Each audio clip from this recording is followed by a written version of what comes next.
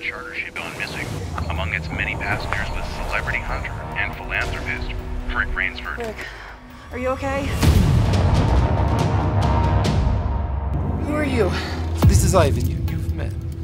You two live here alone? Yes, we live on the island. Thanks for taking us in. Were you the only survivors? A lot of good people were lost. You hunt? I do. Mr. Rick Rainsford.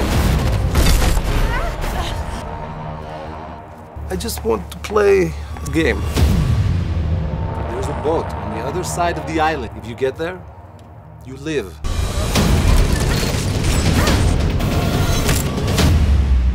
I'm gonna do whatever it takes to get you off this island.